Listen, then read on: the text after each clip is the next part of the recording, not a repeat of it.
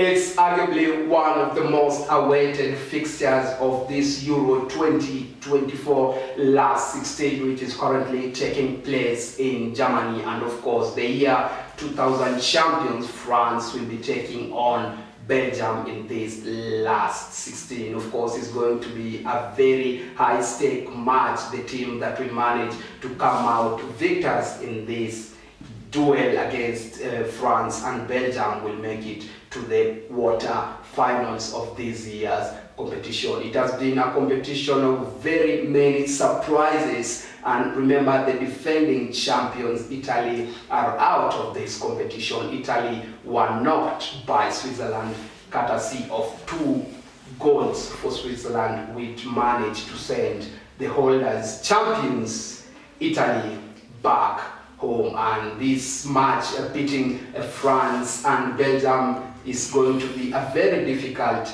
duel for that matter. Coming to this match let's go and look how these two teams managed to make it out of the group stages. And France was in Group D and uh, Belgium was in Group E. We must say that France, the favorites for this competition, managed to come in second behind the eventual group winners, Austria and France managed to come in second with a total of five points. And on the other side, Belgium was in Group D. Belgium also managed to come in second with a total of four points behind eventual group winners, Romania. We say that France and Belgium, these are very top-notch quality team that will be battling now to try and get a spot in that quarter-finals, but their journey to this last 16 has not been an easy one as the most of the people expected that France and Belgium were definitely going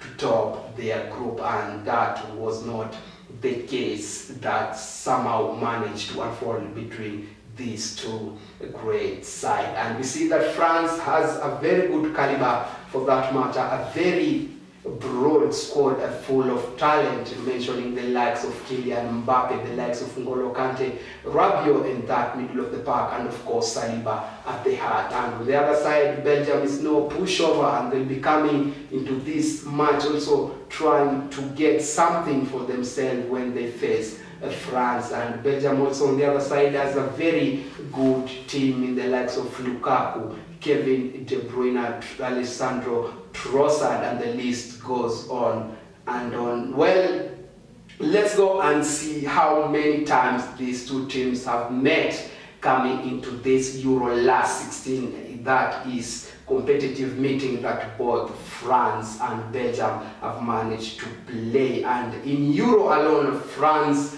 has managed to play Belgium five times and France have won one of the matches. And the World Cup, France has met Belgium seven times, winning a total of five times against Belgium. And the Nations League, France have played Belgium once and they've managed to win one match. And you can see by the stats that I've just mentioned that uh, France has an upper edge coming to this match against Belgium. But we've seen that this uh, Euro 2024 has not been easy for most of the teams. I'm talking for the likes of Netherlands who managed to make it through but not really convincingly coming as the best loser to get that spot. But these two teams are giants and it's going to be a very big battle, especially in that center of the park. And we've seen that Deschamps has managed to go with the experience, recalling back the evergreen N'Golo Kante, who will be running things in that midfield and covering every blade of the grass to try and get those tackles and those final pass for France, the interception, the tackle, the header, the aerial duels, everything is going to be very compact for both teams coming to this match. Not forgetting Kevin De Bruyne, who is very swift with his goal passing range and if given a chance, Kevin De Bruyne can also score those goals for Belgium. Well, let's go and see where this match is going likely to be won. I think that this match is likely to be won by individual brilliance scores. both teams have good caliber of players, plethora of talent in their fold, and it's not going to be an easy match. It's going to be a free flowing attack kind of football for both Belgium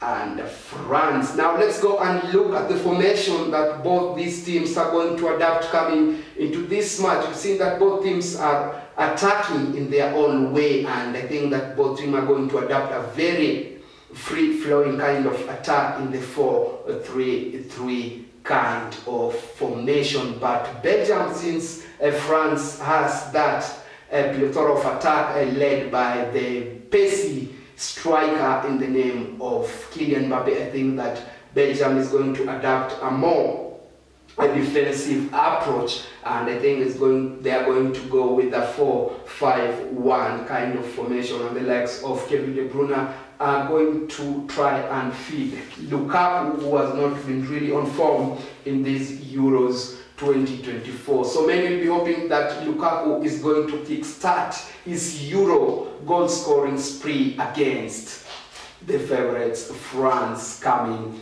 into this match. And now let's go and look at the players to watch in this crucial match and the likes of Trossard, the likes of Kevin De Bruyne, the likes of Lukaku, the likes of Vertonghen, and of course Onana in that Belgium setup. And on the other side, we see that the likes of Griezmann, Antoine Griezmann's N'Golo Kante, and of course Kylian Mbappe will be trying to do much to try and make it for their team to the next round. Remember that at this stage, last season, last uh, Euro, rather, it's where France were knocked out by Switzerland, and it was a very embarrassing knockout for for France to eventually get out of that competition. And we've seen that Switzerland also managed to get out uh, Italy by beating them by two goals to nil. So it's not going to be a very easy match for both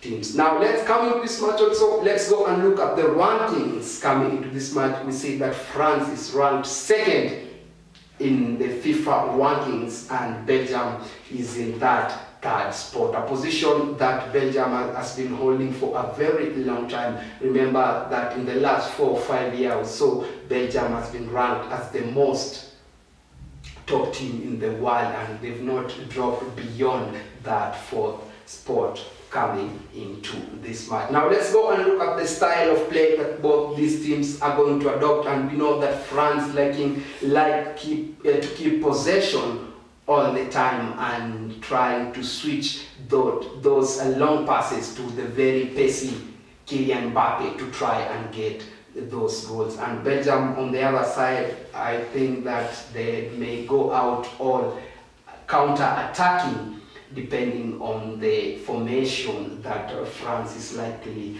to adopt in this match that is there. Now, the other thing I think that the team that is likely to settle faster in that midfield will have an advantage because remember that these are very, very top-notch uh, quality players and I think the midfield is the one place that is going to be a lot of duel, It's going to be a lot of ground to cover and I think the team that will have the character to go for it and the personality will come out eventual winners of this last 16 match. And I think that France are not going to allow the same mistake that they did in the last Euro that is 2020 to come into play again when they face uh, France, uh, when they face Belgium rather, and, and Deschamps will be trying to make a name for himself. Remember that Deschamps is the one that led France to win that World Cup a few years ago. Well, another thing that may come into play is the uh, number of players that uh, France will be pushing forward to try and get that goal uh, uh against Belgium and the one that uh, will be remaining to try and form that formation throughout the game. Because if one either of the team either France or Belgium make a mistake of not being in shape when being attacked then I think there'll be a lot of damage and may two, these two teams may not be in a position to recover quickly. So it's going to be an end-to-end match and it's going to be a free-flowing attack brand of football, but I think that France has an edge over Belgium going by the stats that I just mentioned for you. So expect a very entertaining brand of football, expect a lot of ground being covered by these players and uh, I just like to sit down and see the battle between the the hard tackling Onana who plays this trade in Everton against N'Golo Kante who has been a renowned box-to-box midfielder in that uh, France setup and he has done it all at club level and uh, he has a, he's also a World Cup winner for that matter. So both these teams are going to come into this match fast, being taking a lot of precaution, absorbing the pressure then try to dictate the pace of the game as the match goes on and on. So we are going to see which team is going to come out as the eventual winners of this last 16 match between France and Belgium.